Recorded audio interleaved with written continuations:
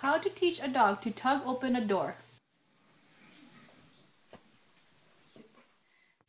I discovered that Tofu kept getting stuck inside a room that had an automatically closing door and I would have to open the door for him whenever he wandered in there. Because the door didn't close shut, he could get in but then couldn't get out. So that inspired me to teach him how to open the door himself. You may find this useful if you have these kind of doors in your house too and want your dog to be able to problem solve their way out of them. Tie some sort of a tug or rope that your dog is willing to pull onto the doorknob. A good hanging length is to the dog's shoulders. If your tug is too long, the dog will have to back up a lot further to get the door open. And if it's too short, the dog will not be able to reach it easily.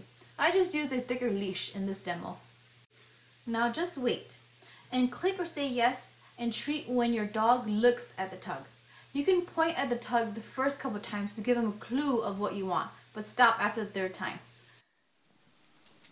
Yes. After your dog is doing that reliably, click or say yes and treat when the dog touches the tug. Yes. Now click or say yes and treat when your dog touches and mouths the tug. Yes. Now click or say yes and treat when your dog mouths the tug and moves his feet back.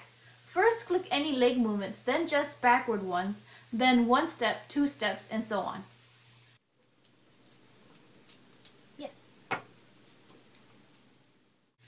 Now click or say yes and treat for grabbing the tug and backing up to gradually build up muscle and confidence in the tugging. This is basically like the last step, but it's a crucial step because you really want to build this part up. Yes.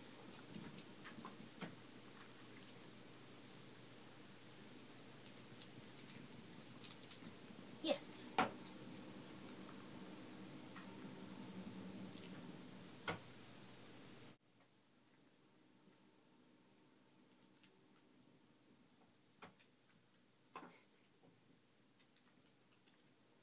Yes. Good boy. Now you can add your cue. I use tug. When you are 99% confident your dog will pull the tug and open the door, say your cue and click or say yes and treat when he does. Repeat until he associates the cue with the action. Okay,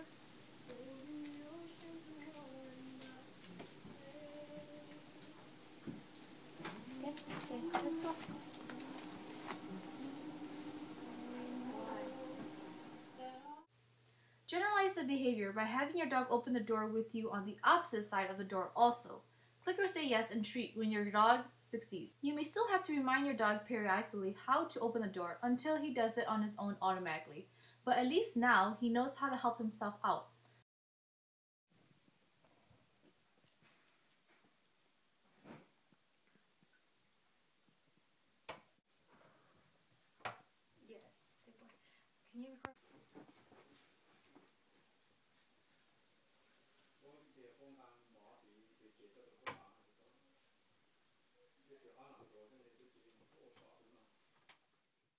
And his friends too.